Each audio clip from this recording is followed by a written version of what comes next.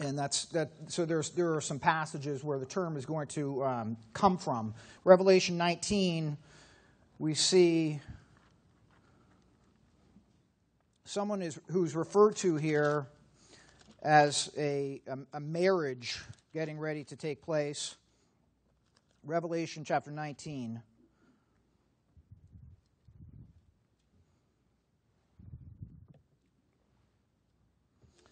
Revelation chapter 19, verse 7.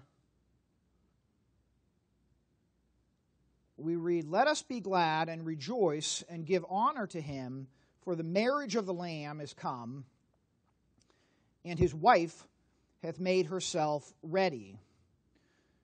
And to her was granted that she should be arrayed in fine linen, clean and white, for the fine linen is the righteousness of saints. So we see this wife that's making herself ready. Let's go to Revelation chapter 21.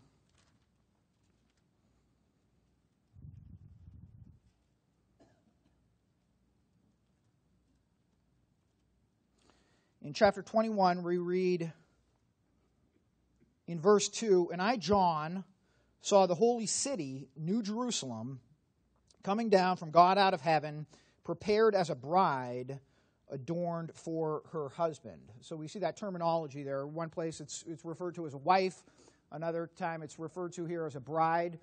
Um, and so while we don't see the actual phrase, the bride of Christ, certainly there's somebody that, that Christ is marrying here in Revelation. So that's what we're talking about is this question of who is this bride being referred to in Scripture? Who is, who is this bride of Christ? Now, rarely is it going to be argued that the lamb who's, who's being married here, um, when, when we, look, we see that both in chapter 19 and verse 21, what we want to establish really right out of the gate is the lamb is the Lord Jesus Christ. So again, there's not going to be too much disagreement with the fact that in this marriage, that the Lamb is Christ. John the Baptist, of course, calls him um, the Lamb which taketh away the sin of the world.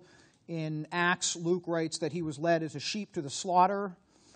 In um, Peter, he calls him a lamb without blemish and without spot. And Paul in 1 Corinthians writes, Christ our Passover is sacrificed for us. So again, we see Christ being referred to as the lamb. There's no question that he's the lamb in this. Um, in, this, in these passages. But what we're, what we're looking at here is this issue of the bride and who this bride is. Now, as um, Richard had just mentioned, they're, they're really the, the vast majority of Christendom out there is going to come to the conclusion that the bride of Christ is the New Testament church. So if you're a Catholic, then you say that it's the Catholic Church. If you're a Protestant, then you're going to just say that it's depending on how much you know, you might just say that it's the New Testament church. You might say that it's the body of Christ. Again, depending on how much, how much information you have. But that's going to be the vast majority um, out there. Now, the much small, and this, this actually includes quite a few dispensationalists that have come to this conclusion that the church is the bride. And then the, the, the smaller minority conclusion is the fact that, that Israel is the bride of Christ. Now, what we want to show here, again, right, right out of the beginning here, is that the body is not the bride of Christ. And we're going to we're to address some issues of, of why that's the case. But what I want to focus on more is the issue of why Israel is the bride of Christ. Now, when we, when we see that, then again, that basically is going to take care of the, the issue of whether or not the body is the Christ, or the body is the bride. But that being said, what I want to clarify is that to say that Israel is the bride of Christ doesn't really give a full explanation of it. I think it actually sells it a little bit short. So just to, just to have a quick answer and say that Israel is the bride, that's true. It's a correct answer, but there's more to it than to say that just Israel is the bride of Christ. There's a little bit more to it. And then the other thing, and again, we're not going to spend too much time on this, is while Israel is in fact the bride of Christ, the body is married to Christ. So again, we want to repeat that. Somebody, um, I think, I think it was Tom mentioned that the other night, is that that the body is married to Christ. So Paul's actually going to use terminology that, that goes along with that. So, and that's an important issue. So, just, just the fact that Israel is the bride of Christ does not mean that you're not married to Christ.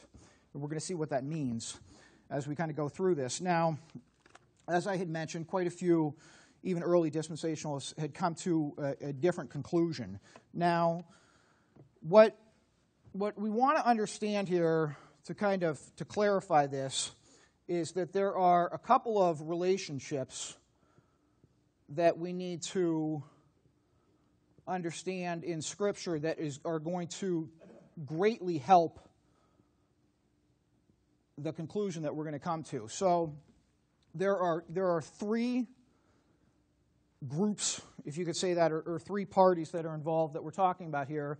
One is Christ, the Messiah. One is the nation of Israel. And one is the, the country or the land that they're going to inherit. So the, the piece of real estate. All three of these things are going to be connected to each other. So again, when we just say that Israel is the bride, there's a little bit more to it, I think, than that. So what we're going to do is we're going to look at these specific relationships. Let's go back to Genesis chapter 12. Genesis chapter 12. Now, the first relationship of these, these three that I want to focus on here in Genesis chapter 12, what we see here, of course, is the Abrahamic covenant. So we're all familiar with the Abrahamic covenant. What's going on with the Abrahamic covenant is God is promising Abraham's seed a piece of real estate. Very simple concept. That's it. He's just promising Abraham and his seed that you're going to possess some land and that a nation is going to come out of you. And then when we go over to verse, or I'm sorry, um, chapter 13, verse 14, chapter 13, verse 14, we read, And the Lord said unto Abraham, after that Lot was separated from him, Lift up now thine eyes, look from the place where thou art northward and southward and eastward and westward. So again, this is, this is physical land that he's, that he's looking at here. For all the land which thou seest, to thee will I give it, and to thy seed forever and I will make thy seed as the dust of the earth. And so, if a man can number the dust of the earth, then shalt thy seed also be numbered. Arise, walk through the land in the length of it and in the breadth of it, for I will give it unto thee. So, painfully simple question Is land on the earth? Yes, land, land is on the earth. Okay, second painfully simple question. When he promises this land forever, is forever an eternal thing. Forever is eternal. So, again, what we're going to see is that this land is promised to this nation of Israel and that they're going to possess this land forever. They're, going, they're quite literally going to be married to, to this piece of land forever. And we're going to see this terminology used. So let's go up to Isaiah chapter 62. Isaiah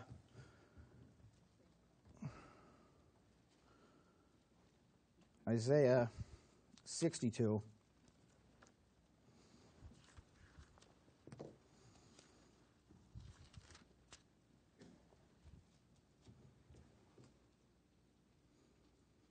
The glue that is really bringing this marriage together, that's welding these two things together, is quite literally the Abrahamic covenant that we just, we just read. So the Abrahamic covenant is, is the super glue that's going to bring this relationship together. Isaiah chapter 62, and this, this promise is going to be confirmed throughout Scripture. Isaiah chapter 62, verse 4, we read, Thou shalt no more be termed forsaken, neither shall thy land any more be termed desolate. But thou shalt be called Hephzibah, and thy land Beulah. For the Lord delighteth in thee, and thy land shall be married. So again, we see this, this being confirmed that the land is going to be married. The very word Beulah means married. That's what the word, that's what the word means. I think in the old North Shore Church, or maybe, maybe earlier on Shore, there was actually a woman named Beulah. So it's kind of a it's, it's kind of an unusual name. She was um, one, I think the organist or something like that, Beulah. And um, but that word Beulah means married. That they're going to be married to this land. So sometimes we hear Christians will, will talk, especially when we're getting into these issues, political issues of whether whether gays can get married today and whatnot. So a Christian stands up and says, "Well, the Bible defines marriage between a man and a woman." There, it's actually not true. There, the Bible's actually defining marriage between a nation and their land. And we use that term married like that all the time. So it's not something that we need to get caught up in. So somebody might say, um, Oh, I just got a new job. How do you like it? Well, I'm not married to it. So we know what they mean by that. They're not, they're not connected to it, they're not, they're, not, they're not married to that thing. So the Bible uses the term like that, that, that there's a connection. So the Bible, again, does not necessarily define. Now, I'm not, I'm not defending the former, but I, I, I want to, I, I just want to, I want to get that out of the way. Now, so when we're talking about marriage, what we're talking about is to be united in a close and permanent relationship, to be combined, to be joined, to be brought together, to be made one. So again, here, here they are, they're being married to the land. And then we, we see this confirmed. Later on, we read, Nevertheless, we, according to his promise, look for new heavens and a new earth. Again, so we see this physical land, this earth being confirmed. In Revelation, we read, And has made us unto our God kings and priests, and we shall reign on the earth. They shall reign forever and ever on the earth. So again, this is this stuff is confirmed throughout Scripture. So Israel will be married to the land. Now, there's another relationship. Let's go to 2 Samuel chapter 7. That is 2 Samuel chapter 7, just as real, just as permanent, just as binding. 2 Samuel chapter 7. Now, we had read about the Abrahamic covenant. Now we're reading about the Davidic covenant. 2 Samuel chapter 7. 2 Samuel 7, verse 10 Moreover, I will appoint a place for my people, Israel, and will plant them that they may dwell in a place of their own and move no more. Neither shall the children of wickedness afflict them any more, as before time, and as since the, that, the time that I commanded judges to be over my people Israel, and have caused thee to rest from all thine enemies, and the Lord telleth thee that he will make thee an house, and when thy days be fulfilled, and thou shalt sleep with thy fathers, here, here's the covenant, I will set up thy seed after thee, which shall proceed out of thy bowels, and I will establish his kingdom. He shall build an house for my name, and I will establish or establish the throne of his kingdom forever. So again, painfully simple question is forever eternal? Is eternal forever? Yes. They're, they're, they're one and the same. So what we're going to see here is this promised Christ Messiah is now going to be joined to this nation forever. He's going to be married to them. He's not going to depart from them. It's going, it is an eternal covenant that's being made there that he is going to Again, this throne is going to be established. Now, it hasn't identified who the Christ is yet. That's just the title. But the Christ will be married to the nation eternally. Now, of course, when we get into the New Testament, we see who that, who that Christ is. He's got a name the Lord Jesus Christ. So it identifies who the guy is. But again, that he's going to be eternally wed, as it were, to the nation. His throne is going to be an eternal throne. Now let's go to the book of Jeremiah. Jeremiah.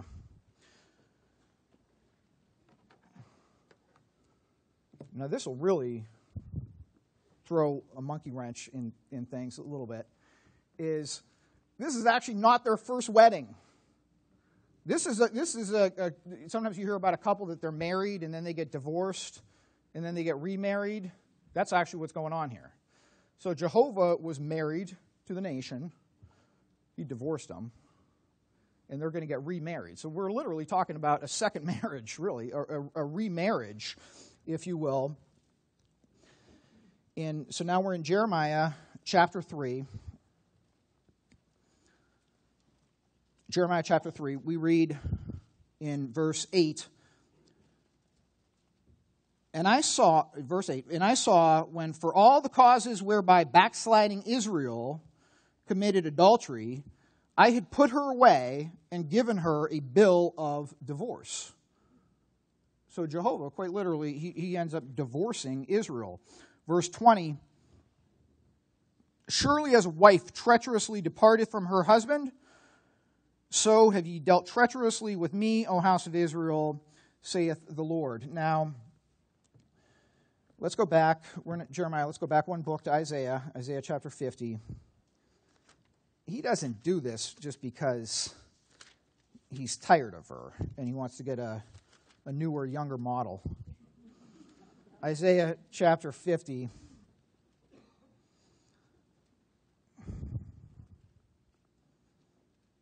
We see Isaiah chapter 50, verse 1 Thus saith the Lord, Where is the bill of your mother's divorcement, whom I have put away? So the idea, again, is just the issue that Jehovah has had to divorce, and he was, he was forced into that situation. What happened is he had an, an adulterous wife. And built right into that law is if, if he's got this adulterous wife, that he is legally allowed to put her away for her adultery. And what she does is she's married to him, but she is an, a, a serial adulterer. So what she's doing is she's continuously going out and creating or committing spiritual adultery is what's going on. And she's sleeping with any god that she can get her hands on, any Baal that she can get her hands on. So if another God comes along, she'll worship that God. Another one comes along, she'll worship that God. Another one comes along, she'll worship that God. Until he finally gets to the point and says, We're done. Here's the, here's the bill of divorce. And the terminology that's used is very powerful to the point where she almost, quite literally, is likened to just a street whore just a, a nasty, anybody again that'll come along, she'll sleep with any other god that, that will have her. And so this, this eventually comes to this point that he gives her a bill of divorcement. Now, and, and she, again, what, what she's doing, I'll just read one passage for the time's sake. We don't need to turn here. But my people ask counsel at their stocks and their staff declareth unto them. So you see that, that terminology, their stocks and their staff. In, in, um, that's in Hosea chapter 4. And it came to pass through the lightness of her whoredom, it's not even a big deal to her anymore, that she defiled the land and committed adultery with stones and with stocks. So, so she's, she's taking stones and carving them out. Stuff, same stuff's going on today. And next thing you know, she's kneeling in front of the, the stone and lighting a little candle in front of the stone. Carving, carving things out of trees, worshiping those things, taking the remainder of the wood and building a little fire and warming her hands with her. She's, she's, she's taking counsel for these, these stocks, just, again, in, in stones that's going on. So, so eventually, again, he has to divorce her, but he says that he's going to, he makes this covenant that he's going to remarry her and he is actually going to present her as a virgin. So that comes uh, as a problem to some people. How could, well, she, how could you describe Israel as virgin? He does the same thing with us. He, he presents you as holy and without blame. No big deal for the God of the universe to, to, to purify her. As if she's, again, not as if, purify her as a virgin. Again, I, behold, I make all things new. Wow. Again, only the God of the universe. Now, so we see again that Messiah is going to be married to this land through, again, through the, the um, Davidic covenant. Now, what's going to happen, or I, actually, I, I, just jumped ahead with the statement I made, but um, Christ is going to be married to the nation of Israel. But the statement that I just made, again, this the next step of this really goes without saying. So if Christ is going to be married to the nation, and the nation is going to be married to the land, then Christ has to be connected to the land, right? I mean, that just goes, that's where the, that's where the throne is. The throne is, is part of this thing. So we see again, and then this is going to be confirmed that, that Messiah is also going to not separate himself from this land. Let's go to back to Isaiah chapter 62. Isaiah chapter 62.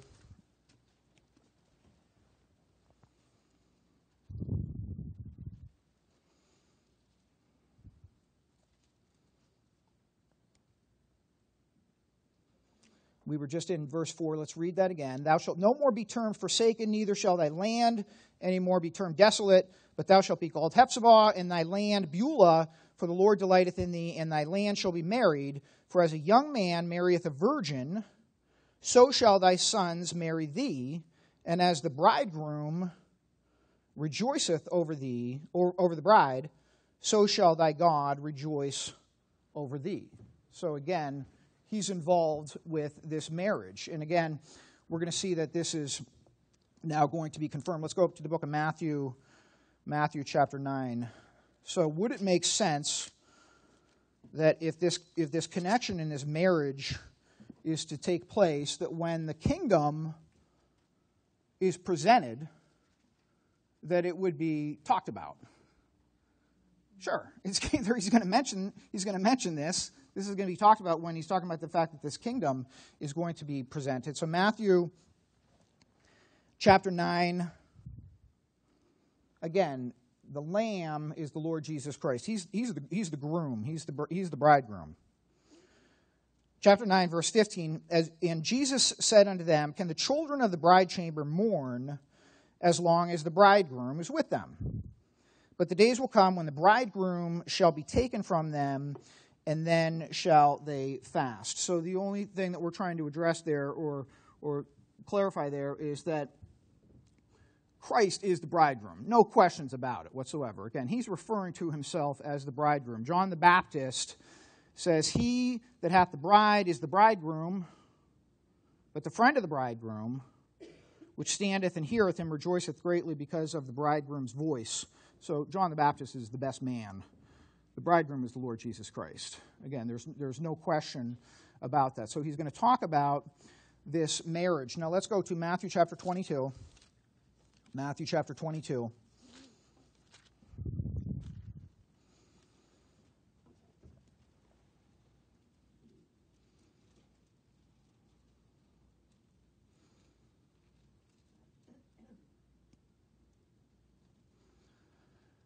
So, Matthew chapter 22, he's, he's writing about this in a parable.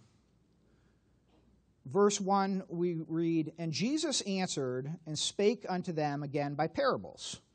And he said, The kingdom of heaven is like unto a certain king which made a marriage for his son, and sent forth his servants to call them that were bidden to the wedding, and they would not come. Again, he sent forth other servants, saying, Tell them which are bidden, Behold, I have prepared my dinner, my oxen and my fatlings are killed, all things are ready, come unto the marriage. But they made light of it and went their ways, one to his farm, another to his merchandise. And the remnant took his servants and entreated them spitefully and slew them. But when the king heard thereof, he was wroth. And he sent forth his armies and destroyed those murderers and burned up their city.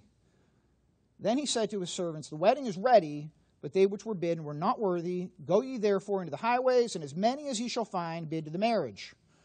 So those servants went out into the highways and gathered together all as many as they found, both bad and good. The wedding was furnished with guests. And when the king came in to see the guests, he saw there a man which had not on a wedding garment.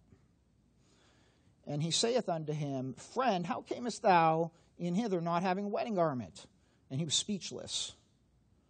Then said the king to the servants, Bind him hand and foot, and take him away, and cast him into outer darkness. There shall be weeping and gnashing of teeth. So we read about this, this wedding being referred to. Now, when we go back to the beginning of the parable there, at the beginning of chapter 22, we see that it is Jesus answered and spake unto them again by parables. The kingdom of heaven is like unto a certain king which made a marriage for his son. So the first thing you want to establish is this is a royal wedding. He's not just some guy, plumber's son or something like that. This is a royal wedding, the royal wedding that we're reading about here. Again, this is, this is, a, this is a very important aspect to it. Now, when we look at this thing, in verse 2, we read, The kingdom of heaven is like unto a certain king which made a marriage for his son. So, again, the comparison there is that the kingdom of heaven is like unto this marriage. So, again, what, what is like unto the marriage? The kingdom of heaven is like unto a marriage. So, it makes it crystal clear. Now, when I have a king sitting on a throne, and I have a nation made up of people, and they're in a certain piece of real estate, a country, land, what did I just describe? That's the kingdom of heaven right there. That's, that's, that is the kingdom of heaven that, just, that was just described there. So again, when we use that terminology and we say, well, he's marrying Israel, yes, he's marrying Israel, but there's a little bit more to it. He's marrying the kingdom, is who he's marrying. He is not going to separate from it. He's not going to join this kingdom and then a million years down the road just divorce her again. He's going to, he's going to be married to this kingdom. So again, it's, it's, it's not a surprise that he would use this kind of, this kind of terminology in um, the four Gospels. Now, let's go. Well, we're not going we're not going to turn back here, but when again, when we're in Revelation 19 and we're in Revelation 21, we see a marriage occurring. So again, it's going to fit like a glove to what has now been described throughout Scripture, that this thing is going to occur.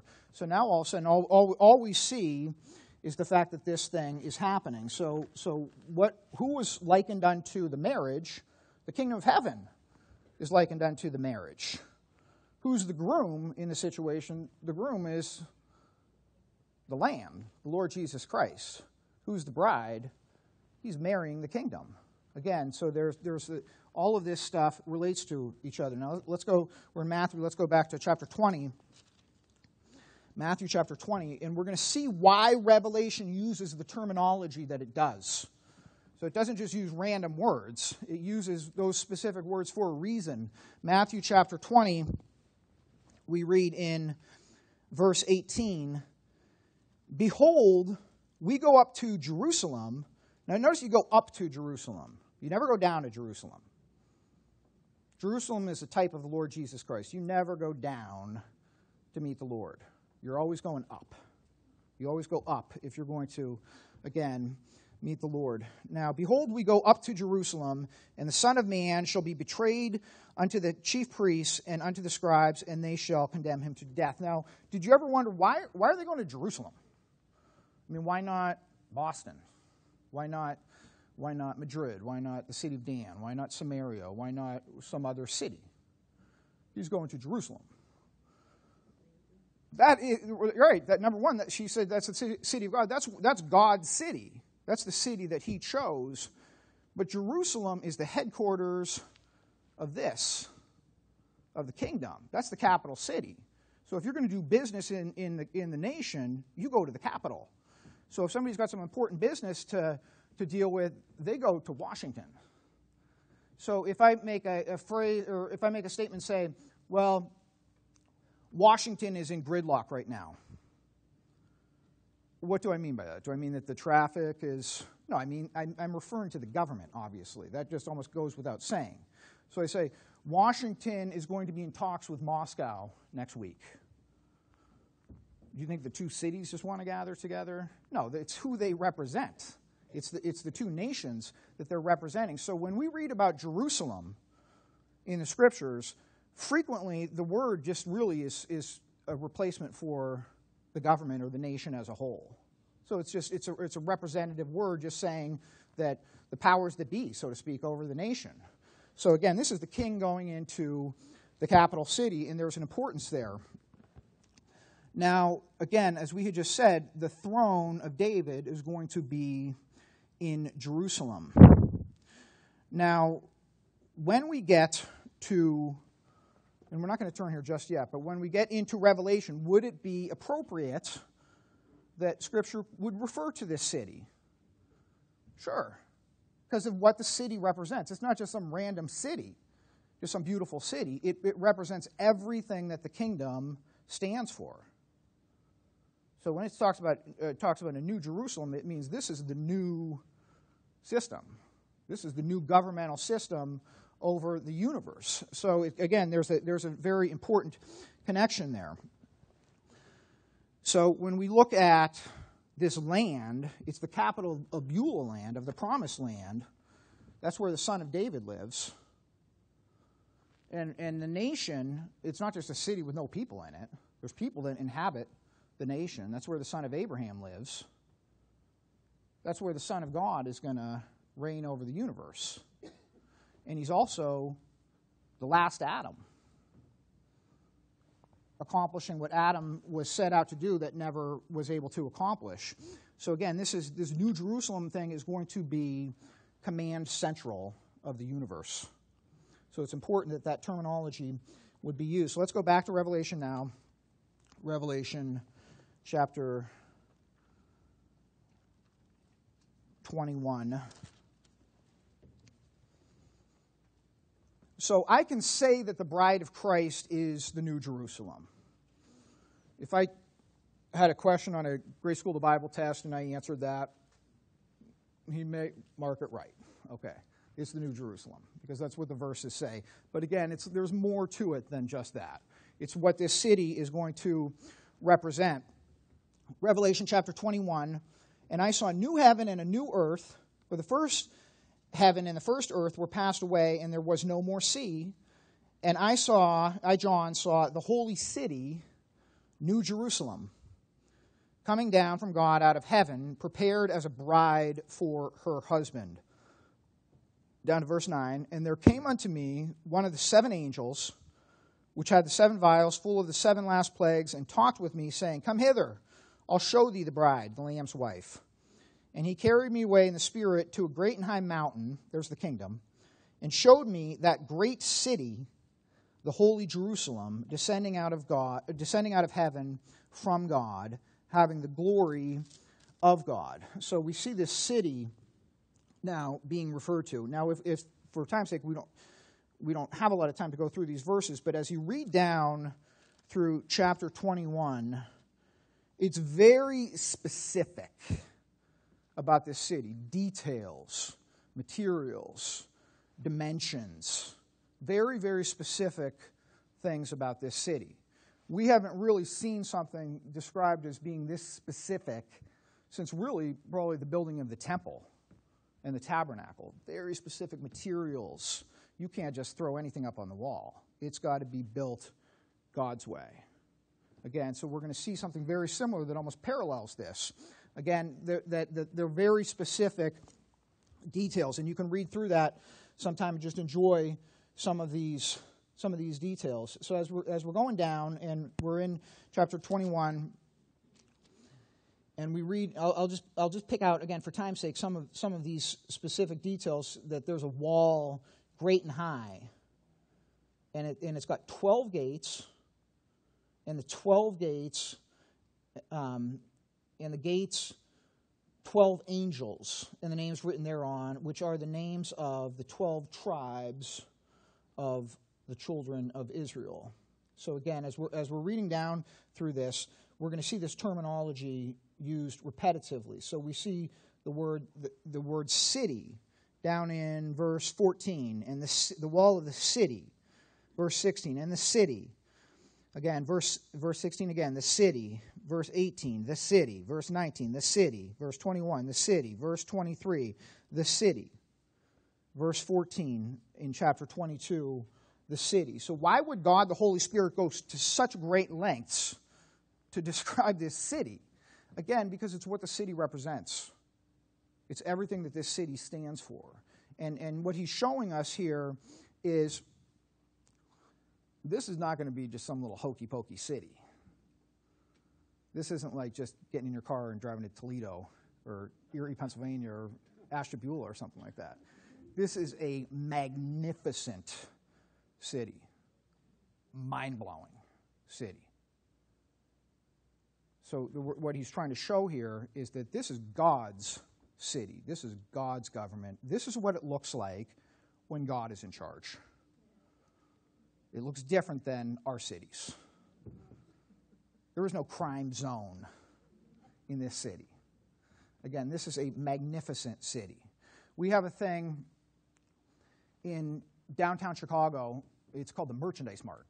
It's a huge building, and it's, it is just what it sounds like merchandise. You go in there, and they have, they have tiles and fabrics and colors and all the newest, coolest things, whether it's a chair or a table, things restaurants can go in there and buy things. You can buy things for your house. Probably none of us in this room have enough money to buy some of the stuff that they have in there, maybe. And, but there, it's just cool, cool stuff. So if you like that kind of stuff, you see just the cutting edge stuff. God actually does this here in Revelation, and He's showing some of this, some of this material. So the stuff that man comes up with is not even in the same universe. So this is the kind of city where you just walk through the entire city, just jaw dropped. He built it and says, check this out. This is where I'm going to live, and you can live in it with me. Okay, not the body. But he, but he, but he invites saints to live in it with him again now, and we, and we see this, this bride being described. Now, this is a city, the most spectacular thing about the city, needless to say, is the fact that God lives there. That's, that's what makes the thing so spectacular. That's, that's the best aspect of the entire city. So when we read down through this passage, we read about 12 gates, 12 angels, 12 tribes, 12 foundations, 12 apostles, 12 pearls. What's Israel's number? How many times do you think that the word city is used in that passage? Wild guess. 12. How many times do you think the word church is used in that passage? Zero. There's no references to the church, the body of Christ, in this passage when we read down through this thing. This is Israel's city. Now, where the, where the, let's go to 1 Kings chapter 10. I think we're going to have enough time for this. 1 Kings, hold your place in Revelation, and then go to 1 Kings chapter 10. 1 Kings chapter 10. Now, we read about gates and walls of this city. So this is a city that's going into eternity. So we wonder why are there walls? Why are there gates of this city? Usually, when you have gates, it's you're keeping people out. So there's some reason why there would even be gates to begin with, and, and what's going on here. This goes back to this Abrahamic covenant. All the nations are going to be blessed out of this city. So these blessings are just going to pour out of this city, where, where righteousness is going to just emanate from this. Now we see this image of this. 1 Kings chapter 10, verse 1. And when the queen of Sheba heard of the fame of Solomon, this is an image, just a little foreshadow, a little foretaste of what's going to happen. And when the queen of Sheba heard the, the fame of Solomon concerning the name of the Lord, she came to prove him with hard questions and she came, and here it is, she came to Jerusalem with a very great train, with camels that bear spices and very much gold and precious stones. And when she was come to Solomon, she communed with him of all that was in her heart. That's an image of these Gentiles just coming in bearing gifts 24 7, continuously. Just bringing in, bringing in their riches Israel is going to suck the milk of the Gentiles. They're going to just, again, just continuously bring in their blessings into this city. Let's go back to Revelation. So, as we see that terminology used, it's not a shock that now we're going to see this just confirmed. The fact that this is, in fact, is going to happen. Revelation chapter 21, verse 23 And the city had no need of the sun, neither of the moon to shine in it, for the glory of God did lighten it, and the Lamb is the light thereof. Again, spectacular city. And the nations of them which are saved shall walk in the light of it, and the kings of the earth do bring their glory and honor into it. And the gates of it shall not be shut at all by day, for there shall be no night thereof. and they shall bring the glory and honor of the nations, so there's nations, into it. And there shall in no wise enter into it anything that defileth. Could you say that about Chicago? so again, this is a city of righteousness. And we just see these Gentiles just bringing in and bearing these gifts and these blessings, just pouring out according to these covenants. Now, we see that terminology again confirmed throughout the Old Testament that Israel is going to, in fact, inherit the Gentiles. So there, there's, there's, there's blessings that go specifically to, and again, I, I want to read a couple of these just, just quick. We don't have time to go to them, but um, Isaiah chapter 61 But ye shall be named the priest of the Lord, men shall call you the ministers of God, our God, ye shall eat the riches of the Gentiles. That's Isaiah chapter 61. For thus saith the Lord Behold, I will extend peace to her like a river, and the glory of the Gentiles like a flowing stream, just pouring through those gates. So we're seeing that, again, fitting like a glove when we get into Revelation. Now, if the church, the body of Christ, or if the church, the body of Christ, was the bride of Christ, where on earth in Scripture do we read the body of Christ inheriting the Gentiles? Where do we read about the church sucking the milk of the Gentiles? We are the Gentiles. So again, there's, there's, there's, there, there, there's, no, there's no verses that are going to match that. So we're, we're, again, we're looking through this and we're confirming that this, this city, there's no question whatsoever that this is Israel's city. Now, somebody, I just heard the statement, and it was a wonderful statement, so I want to repeat it, is this bride and this marriage would occur had the body of Christ never been created. Had the body of Christ never been created, this marriage was still going to occur. This is Israel's marriage. These are their blessings. So we're in a hotel. I want to imagine for a second that there is a wedding going on in the room next door. And we all said, hey, let's, I think it'd be funny if we go over there and eat their food and jump in on this wedding and dance and get some drinks. What do you say? You in? Just think of the audacity to do something like that, you know. Okay, now think about actually going into that church and celebrating in that marriage and trying to participate as that poor bride is up there and saying, Move over, I want to take her place.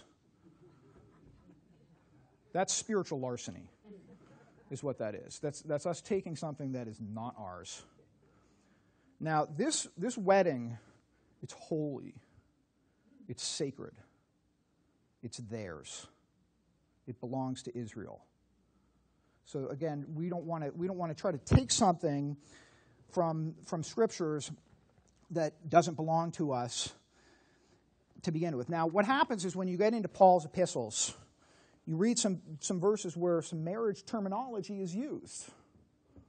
Paul would never call the church the bride of Christ, but he's going to use comparisons and, and likenesses repetitively, so sometimes that might get some people to kind of scratch their heads. So we read, For I am jealous over you with a godly jealousy, for I have espoused you to one husband, that I may present you as a chaste virgin to Christ. Paul uses that terminology that you're espoused, you're married to Christ. In Ephesians chapter 5, we see those comparisons. So someone says, wait a minute, that's got to be the body.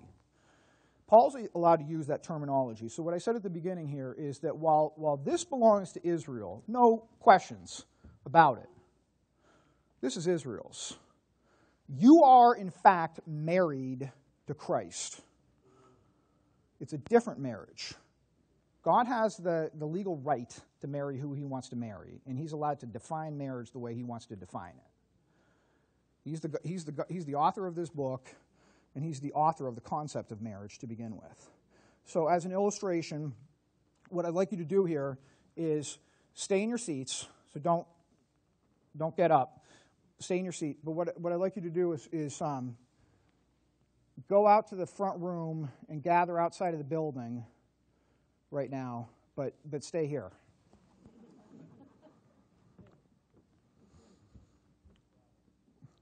Hard to do, right? Now, I don't know about you, but I'm married to my body. I have never gone anywhere without it that I recall. for good or bad, whatever it is. I, I, don't, I don't remember ever having a day where I went somewhere without my body. I'm married to it, I'm connected to it. So, again, somebody made this reference the other day, and it's a beautiful comparison. The moment you got saved, you got joined and placed into that one new man, the church, the body of Christ. You're married to him. You are never getting out of that one new man. Praise God. You are, you are, you are connected to him eternally. There will also be a marriage ceremony of sorts that will occur at the rapture, where all of the church, the body of Christ, will be for the first time gathered together in one place, with the head and the body together. That marriage ceremony is every bit as sacred and as holy and as special and as beautiful as this one here. They're not the same. They're not the same. So, again, this is Israel's. We need to let it be Israel's, and we need to not take something, again, that does not belong to us. Now, let's go to 1 Corinthians chapter 2. 1 Corinthians. 1 Corinthians chapter 2. So, I, again, and I encourage you to do this. Go back into Revelation, read about this city. Just, again, mind blowingly beautiful place. Don't ever for a second think, well, we, we're second class citizens and we don't get to participate in this. This is God's city. We don't get to participate this, and, and therefore we're the redheaded stepchild that just gets some little leftover blessings in these things. 1 Corinthians chapter 2, and we're familiar with these passages. But as it is written, verse 9, 1 Corinthians chapter 2, verse 9, but as it is written, I have not seen. By the way, did John see this city? Okay. Paul could never make that statement that I have not seen. As it is written, I have not seen nor ear heard, neither have entered into the heart of man the things which God hath prepared for them that love him. He's got some glories that are just as good. Again, this is, this is his city, and what this represents is the fact that the God of creation is in charge. What a beautiful, wonderful, wonderful day this is going to be when this occurs. Lord God, thank you for the time to gather here together. We thank you for this group. Um, we thank you for your book. We thank you for the promises that you've given us to it, and it's in our wonderful Savior's name. Amen. Now, I got I to give a 20 second commercial real quick.